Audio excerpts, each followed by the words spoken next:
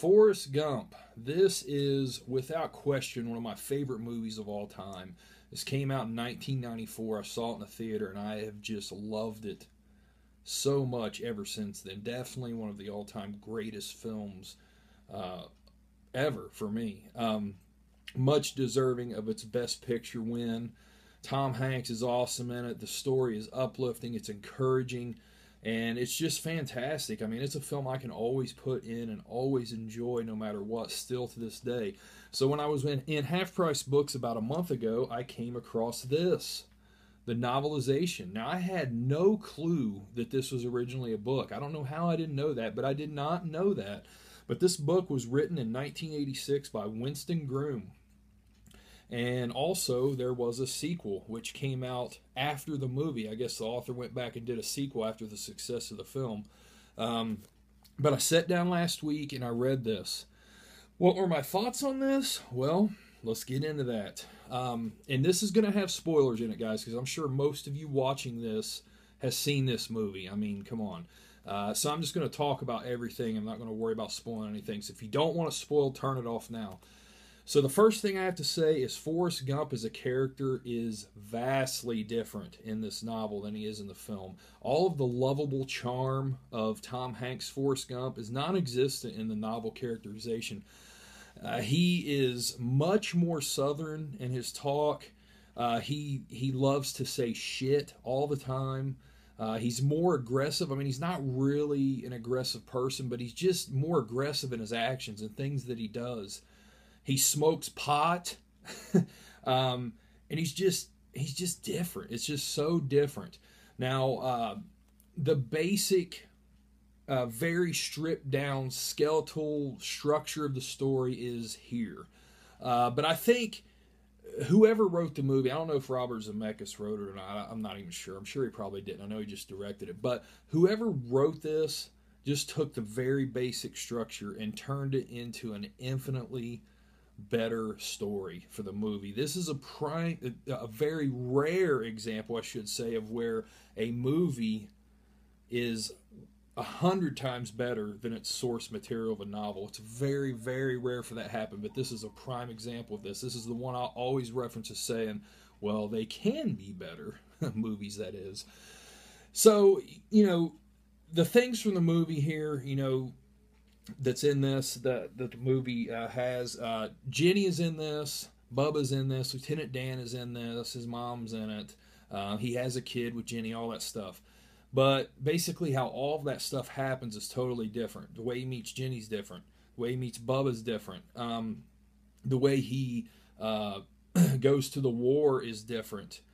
Um, and then when he is over in the war, he gets out, and of course, yeah, he does play ping pong. He does meet President Johnson. All that stuff's there. But then it starts, you know, and like I said, there's a lot of little different things there that they change it up, but that's typical, you know, from novel to a movie. But then it starts getting into things that's like, wow, no wonder they cut this shit out. This movie would have been up for the Razzie Awards. Uh, he he ends up joining Jenny, Jenny's band, which is called the Cracked Eggs, and that's where he starts smoking pot like crazy. They sign a record deal, they record an album, they go on tour. Well, they end up breaking up. Forrest goes to a um, anti-war rally, takes his Congressional Medal of Honor, throws it, and hits a, a general in the head or something. He gets arrested. And when he's in jail, they find out, you know, that he's like this, he's an idiot savant guy, you know, he's considered an idiot and dumb, as they call him constantly, but he's actually really smart. So they say, okay, here's what we're going to do we'll send you to NASA and it will take away from your jail time. I'm, I'm thinking, what? So they send him to NASA. He becomes an astronaut. He goes into space with another woman and an orangutan. The orangutan starts tearing up the the uh, spaceship. So it crash lands into this remote jungle. They all get uh, kidnapped by cannibals and then he's stuck there for four years. After that, he becomes a professional wrestler with Lieutenant Dan as his manager. I mean, guys, I'm not making this shit up. It's it, it, I was totally like, what in the hell am I reading? You know, normally I would quit reading something like this because it was bad. It's poorly written and it's just so preposterous. It's unbelievable. Um, but I just it had that train wreck appeal to it. I had to see how ridiculous it got.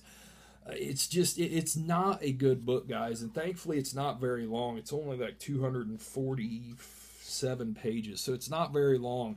But this book sucks. This is a terrible book. I gave it a one out of five on Goodreads.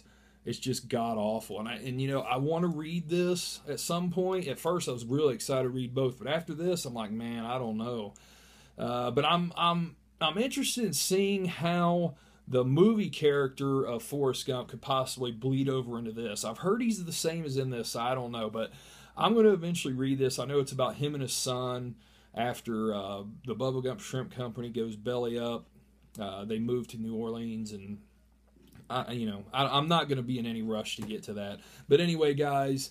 Uh, that's pretty much it for Forrest Gump. This book is terrible. Um, fans of the movie are going to be disappointed in this. I don't see how anybody could think that this is better than the movie. This is the one example of that where I think pretty much everybody would agree the movie blows this away in every regard. They took a preposterous and ridiculous story and turned it into something amazing like this. Um, but this guy got lucky. Winston Groom got lucky because this book would have been totally lost in obscurity if it wasn't for that movie.